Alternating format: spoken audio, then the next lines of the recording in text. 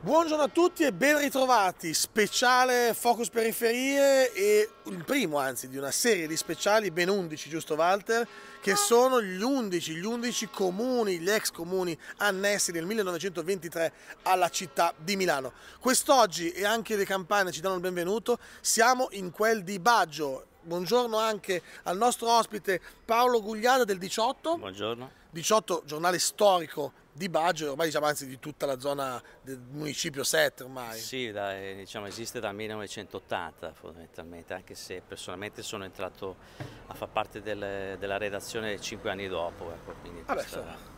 non cinque anni fa, cinque anni dopo, quindi insomma un veterano, un veterano della redazione. Con noi anche ovviamente Walter Cherubini, Consulta Periferia Milano. Siamo in un punto storico fondamentale per raccontare la storia di Baggio, giusto?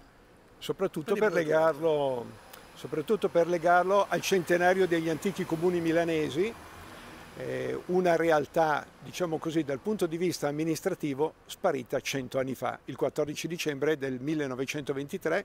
Qui alle nostre spalle abbiamo eh, la sede del, la, del, municipio di Baggio di allora, che eh, ospita attualmente, ma da tempo, da, da più di cent'anni, anche la Croce Verde Baggio, e questo qui è uno degli aspetti abbastanza interessanti perché noi stiamo eh, interpretando eh, l'aspetto del centenario degli antichi comuni milanesi nella sostanza come se fosse una questione di muri. Okay. Invece il fatto che qui ci sia la Croce Verde Baggio sì. eh, vuol dire che noi abbiamo una storia vissuta da oltre cento anni e che ci fa il percorso culturale di una realtà cittadina milanese ma che si incardina proprio in un luogo specifico. Quindi quali sono per esempio i valori che hanno trasportato da cento anni a questa parte, a parte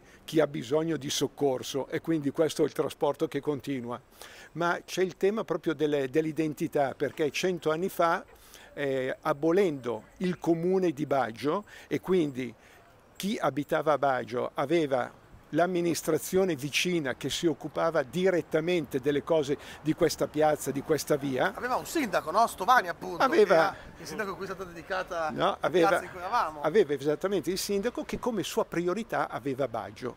Poi appunto nel 1923 vengono abolite le amministrazioni e quindi tutto passa a Palazzo Marino, cioè a Milano come dicono normalmente i vecchi abitanti di Baggio, ma anche degli altri antichi comuni aggregati, Lambrate piuttosto che Musocco, piuttosto che Niguarda, piuttosto che Chiaravalle Milanese. Ecco, questa qui è un pochettino la condizione alla quale noi dobbiamo prestare attenzione se non vogliamo che la città eh, sia priva di identità e quindi diventi una, una città diciamo, attrattiva, perché Milano sicuramente è una Milano attrattiva, ma che abbia poco fondamento sul tema della Milano abitativa. Walter, vorrei tornare un attimo sulla parte più storica invece di questa vicenda. Eh, 1923, 14 dicembre, giusto? 14 dicembre. 14 dicembre finisce l'epoca, l'era del comune di Baggio. Eh, Com'è stato però questo passaggio? Paolo, tu hai seguito un po' le vicissitudini, non dell'epoca ovviamente, ma magari storicamente le hai, le hai ripercorse. Sì, Com'è eh, stato questo passaggio? Beh, il passaggio è stato direi piuttosto dire, controverso, se ah. si può dare, dire questa parola, nel senso che si è arrivati a questa diciamo, aggregazione forza, eh, forzata, si può dire, perché fu eh, voluta eh, in primo luogo da Benito Mussolini. Okay e... Perché c'era un po' questa idea, questo disegno della grande Milano, no? Giusto? Sì, in realtà il, il, il progetto di questa aggregazione c'era già precedentemente, cioè nel senso che anche i sindaci precedenti di Milano, mi riferisco a Caldara, avevano eh, come dire, preparato un'aggregazione un di questo tipo, con una differenza sostanziale, che quell'aggregazione che avrebbero voluto i socialisti avrebbe comunque mantenuto un'autonomia un dei vari comuni. Okay. E invece, come sappiamo dalle vicissitudini storiche, quando prevalse il fascismo nel 22 e quando si ripropose questa aggregazione sotto il sindaco Mangiagalli, in realtà poi Mussolini cambiò le carte in tavola, Ah. decise cioè di imporre un'aggregazione, cioè di diffondere questi comuni alla città, togliendo ogni, ogni autonomia, diciamo così. E quello che in realtà non si dice è che il modello amministrativo che, che tuttora vige a Milano è frutto di questa aggregazione. Eh, infatti mi hai dato giusto l'assist, Paolo, perché eh, Walter, qui adesso ritorno a te, quindi ehm, sarebbe potuto andare in maniera diversa, quindi abbiamo scoperto, cioè se passava un altro tipo di idea politica, di idea amministrativa di come gestire la città nel suo totalità, saremmo magari qui a parlare di invece una Baggio molto più autonoma, che è quello che un po' ci auspichiamo a volte, giusto? Ma più che una, una sottolineatura, più che una Baggio più autonoma, più curata. Più curata, Perché diciamo a livello amministrativo. a- parliamo a livello Sì, no? amministrativo. Anzi, perché Baggio è molto bella curata, c'ha le sue belle ceramiche e tutto, quindi da quel punto di vista è ben curata. A livello amministrativo, ahimè, un po' meno. Allora, ma proprio per un problema di struttura organizzativa, Sì, sì, sì. cioè noi abbiamo una eh, organizzazione amministrativa che è rimasta sostanzialmente quella come modalità operativa che c'era nella Milano del 1872, quando il comune di Milano era grande 9 km quadrati. 9 km quadrati. Poi nel 1873, con l'aggregazione del comune di Corpi Santi, che è la ciambella che sta intorno a Milano e che arrivava circa all'attuale eh, cerchia della 90-91, il comune diventa di 76 km quadrati. Quindi lo stesso sindaco, allora era Bellinzaghi, nel 1872, che continua a essere sindaco nel 1873, deve governare lui con i suoi amministratori, prima 9 km quadrati, poi 76. Se andiamo poi al 1923 con il citato sindaco Mangiagalli, il sindaco Mangiagalli deve governare da 76 km quadrati a 181, che sostanzialmente è l'attuale dimensione della città, con una piccola differenza che allora nel 1923 vennero aggregati circa 130.000 persone, tenuto conto eh, di abitanti che abitavano in questo periodo. Oggi nello stesso eh, luogo ci sono 850.000 persone, quindi è cambiata radicalmente, ma il criterio amministrativo centralistico è rimasto sempre lo Sempre stesso. È chiaro che allora questo viene meno nella cura del territorio ed è un tema, appunto, il centenario, un tema di oggi, perché ha tutta una serie di riflessi sull'organizzazione amministrativa che tutti quanti diciamo che non è adeguata, ma che si fa difficoltà a contenere, anche perché eh, è un problema di cultura organizzativa.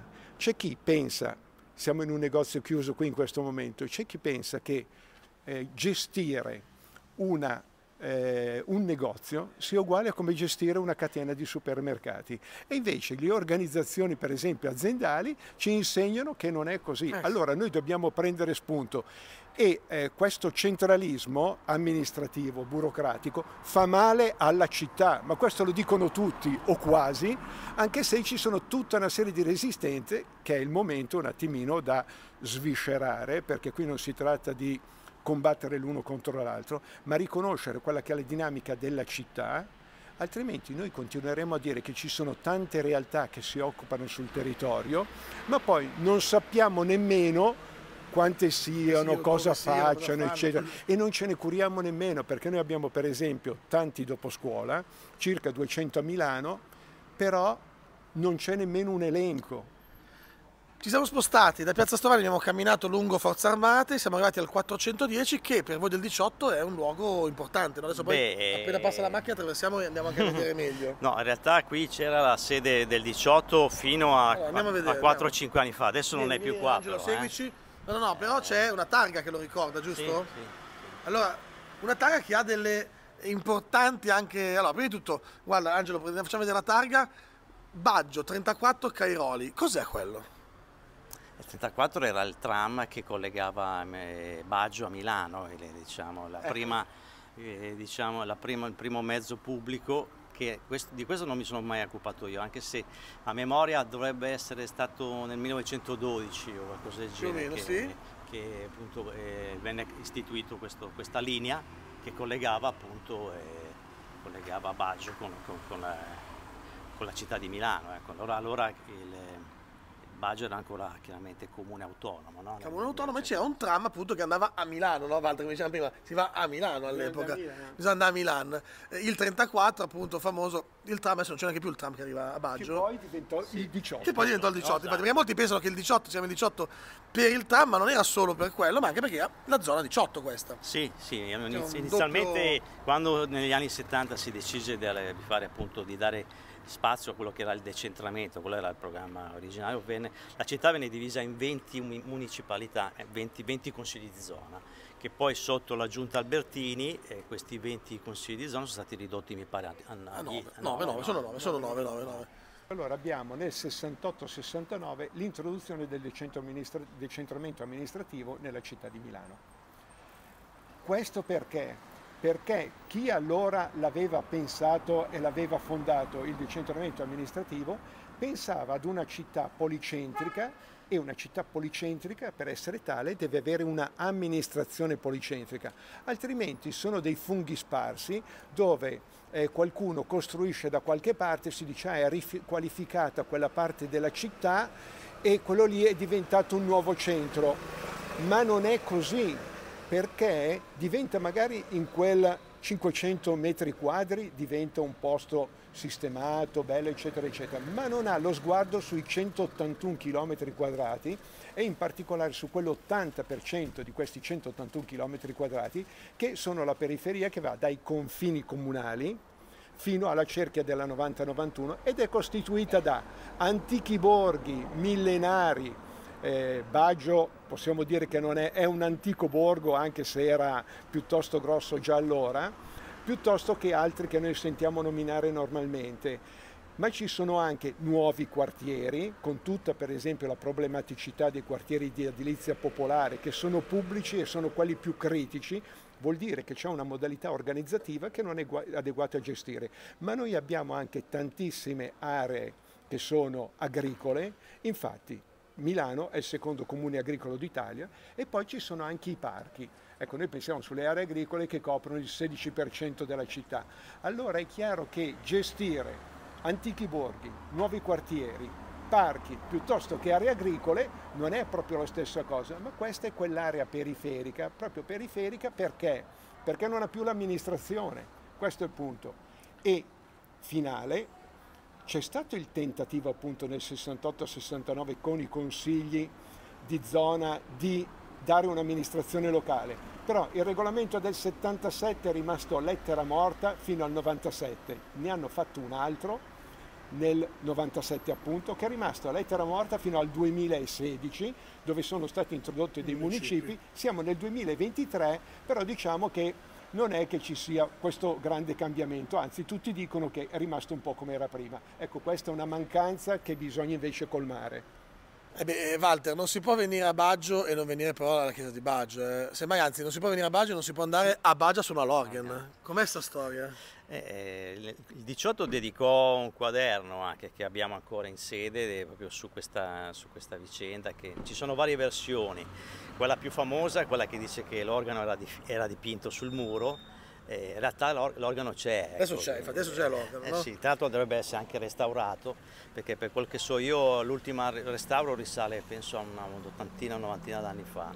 E, tra l'altro c'è un libro importante che sempre il 18 ha scritto, un libro di Federico Sciardelli, che è l'abbattimento della Basilica di Baggio, perché di originale è rimasto solo il campanile, eh? quindi la, la, la, la basilica fu appunto abbattuta e ricostruita mi pare nel, alla fine del 1800. E c'è questo modo di dire che si usava una volta che era va baggia sono all'organ. Una delle versioni diceva che insomma in realtà qua non ci fosse eh, l'organ ma fosse solo dipinto, diciamo che era un modo come un altro per mandare a quel paese, ecco, cioè, più o meno, più o meno no? Cioè, o no? Sì, che è divulgato anche oltre frontiera perché eh, proprio questa terminologia è utilizzata anche nel Canton Ticino, per esempio. Cioè, da alcuni giorni, sì, sì, ma ah, sull'organ, eh, per dire proprio quel paese. Una delle varianti era appunto che invece dal conservatorio, eh, qui appunto c'era l'organo e quindi quando, era un po' come una punizione, vai a Baggio a suonare cioè, sempre parte a quel paese, eh, però l'organo c'era. Perché arrivare dal eh, Conservatorio di Milano, arrivare a Baggio era una bella trottata eh beh, sì, e quindi sì, per gli studenti di allora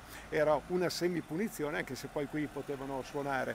E, diciamo che questo, questo campanile è sempre rimasto un po' eh, mi ricordo ai tempi eh, delle scuole elementari, dove appunto veniva raccontato che fosse uno degli, dei luoghi, ma non so se poi sia proprio così, rimasti in piedi dopo che passò il Barbarossa. Ah, il Barbarossa, sì, il Barbarossa che tirò giù tutta Milano e questo qui è un retaggio, ma eh, ci sono sicuramente... Ma non è quello che ha salvato anche la Gesa di Lusert, non era lui sempre? No, non, no, un altro, so. perché ne sono passati così tanti di qua a Milano che ognuno butta giù tutto ma salva qualcosa per fortuna, quindi per fortuna qualcosa è arrivato a noi. Quindi esiste proprio anche un problema eh, di conoscenza storica, perché la conoscenza storica è anche la sedimentazione delle popolazioni. Eh beh, sì. No? Eh, sì, sì Sicuramente anche Baggio che non era proprio centralissima rispetto all'allora Milano, eh, però eh, riconoscere e capire qual è stata la sedimentazione della popolazione che poi ha costruito e ha dato vita a quello che noi vediamo, il positivo sicuramente, se Milano è particolarmente attrattiva vuol dire che ha delle grosse positività, nello stesso tempo anche quegli aspetti che, eh, di mancanza di cura che hanno portato anche a situazio, alcune situazioni di degrado, qui possiamo andare esattamente a 200 metri di distanza all'Istituto Marchiondi, dietro, che eh, opere dell'architettura brutalista di Vittoriano Viganò che è stato esposto al MoMA di New York, noi andiamo a vederlo, è vandalizzato ed è un disastro. Ecco, quando parliamo di cura, allora parliamo di cura sapendo anche quello che c'era lì perché per esempio con eh, appunto l'Istituto Marchion di Spagliardi è stato innestato un progetto architettonico ma che si sposava su una logica educativa di ragazzi che avevano una serie di problemi e che è continuata fino agli anni, a metà degli anni 70. Poco fa abbiamo visto la sede storica del 18, adesso invece andiamo a vedere la sede nuova, no? ci spostiamo di qualche metro, sempre qui ovviamente a Baggio. E per chiudere siamo venuti nella nuova sede del 18, grazie per averci aperto le porte di questa bellissima sede. Eh, 18, come detto appunto, un giornale storico di questa zona dal 1980 ah. che continua però a raccontare anche in vista soprattutto del centenario dei, degli antichi comuni. Giusto? Sì, sì, giusto. E anzi per quanto riguarda la, diciamo appunto il centenario, il 18 ha pubblicato questa, questa, questo libro, questo quaderno eh, l'abbiamo praticamente presentato in Cascina Monastero, la sede del, appunto, del municipio 7, a fine di gennaio, dove in pratica vengono, ricostruite le, le, vicende, vengono ricostruite le vicende che portarono appunto all'aggregazione di Baggio e degli altri dieci comuni alla città. Abbraccia, il libro abbraccia tre anni, tre anni cruciali nella storia non solo di Baggio ma di, di, di, della nazione, visto che parte dal 1920 con la, l'occupazione delle fabbriche, vicenda estremamente drammatica, e per concludersi appunto alla fine di dicembre del 23 con l'aggregazione eh, di Baggio, Baggio degli altri dieci comuni a Milano. Quindi, quindi in questi, questi, tre anni vengono ricostruite le vicende anche diciamo, politiche, no? perché fondamentalmente L'aggregazione è stata fondamentalmente un'azione amministrativa e politica, visto che fu voluta e imposta da Benito Mussolini. Ecco. E c'è tutto qua, veramente, di quei tre anni c'è tutto, si parte dalle elezioni del sindaco di Baggio, che parlava qui elezioni del sindaco di Stovani, quindi la vita diciamo, del, del, comune di Baggio, fino a, e questo lo conosciamo Walter, ce l'hai fatto vedere più di una volta, lo faccio vedere in camera, mi avvicino un attimo, allora vedete questo manifesto che vedete qui, che è il manifesto con cui il comune di Milano decreta... E allora il sindaco Mangiagalli, Mangiagalli comunicò eh, l'aggregazione degli undici antichi comuni. E diceva così, diceva, eh, il sindaco di Milano, messo, cioè, cioè, Milano c'è quattro volte nella prima due, due righe per far capire chi comandava, no? Comune di Milano. Il sindaco di Milano comunica che in forza del regio decreto 2 settembre, bla bla bla, il, e del Consiglio Comunale di Milano, eh, resa esecutiva dell'autorità, eh, i comuni di Affori, Baggio, Chiaravalle Milanese, Crescenzago, Gorla Precotto, Greco Milanese, Lambrate, Musocco, Niguarda, Trenno e Vigentino sono definitivamente aggregati a Milano. Dà anche poi delle indicazioni Questa qui è la parte forse centrale che ci riguarda oggi. Che dice, le amministrazioni dei cessati 11 comuni suddetti sono conseguentemente assunte dal Comune di Milano, il quale si riserva di provvedere sollecitamente per il coordinamento dei servizi già esercitati dai comuni soppressi con quelli esistenti nel comune di Milano e di attuare in seguito delle ulteriori eh, provvidenze che si riscontreranno necessarie. Nel, nel portare quanto sopra notizia della nuova delle nuove popolazioni della più grande Milano, il sindaco, anche a nome della giunta, rivolge loro un augurale saluto e confida nella valida loro collaborazione alle attività cittadini. Il sindaco Mangiagalli. Ecco, era proprio in quel secondo capoverso, proprio delle amministrazioni e le loro competenze portate a Palazzo Marino, dove stiamo a discutere oggi. Per questo che c'è il problema centro-periferia. Periferia non è uguale a degrado, perché noi andiamo in tantissimi posti dove ci sono dei bellissimi monumenti, anche, tipo la Certosa di Milano in Garignano, piuttosto che da altre parti. Noi facciamo ogni mese le giornate Periferia Art Me, che sono più di 20 appuntamenti, grazie alla disponibilità di 46 organizzazioni locali che settimanalmente siamo arrivati ormai a 416 eh, sopralluoghi accompagnati. Perché sopralluoghi e non visite guidate? Perché il sopralluogo normalmente è in un posto che vai a vedere perché ci vuoi fare qualcosa. Ecco qui per conoscere e per prendersene cura. Perché se non conosci sarà difficile che tu te ne possa prendere cura. Da questo punto di vista c'è anche un collegamento con i giornali di zona. I giornali di zona o stampa locale, meglio, tipico questo è il 18 si chiama il 18 perché allora c'era il Consiglio di Zona 18, 18. come anche tanti altri. Allora, questo giornale voleva essere un interlocutore e uno stimolatore del Consiglio di zona che doveva essere esattamente il, la, l'amministrazione del territorio. Solo che questa amministrazione del territorio non c'è mai stata. Quindi la segnalazione che facciamo noi e l'invito che facciamo a una riflessione a il buon numero di testate eh, locali che sono rimaste operative è quella di vedere la loro interlocuzione non è attualmente quella con i consigli di zona, perché il consiglio di zona rispetto a un bilancio del comune di Milano che fa eh, gestionale di 3 mila milioni di euro, ne hanno uno a disposizione. Capite che è esattamente zero. Allora è per quello che bisogna fare un'attenta e anche iniziativa proprio per dare questa amministrazione agli antichi comuni, che non vuol dire scollegarsi da Milano, ma proprio quello di un'amministrazione comunale policentrica, cosa che non è. Per capire meglio cosa significa, beh, 11 puntate, 11 puntate di Focus Periferia, si parte oggi qui da Baggio, ma si andrà in tutti gli 11 comuni che poco fa vi ho nominato. Io ringrazio davvero Paolo per l'ospitalità grazie, del 18. Grazie a voi, buongiorno. Walter, noi ci vediamo nel prossimo comune, 11 comuni, seguiteci perché davvero è importante capire come si è arrivati a questa situazione, come si è arrivati a questa grande Milano che tanto ci piace, tanto amiamo, ma come forse potrebbe essere ancora meglio. Walter, grazie mille. Grazie a voi e seguiteci. Alla prossima.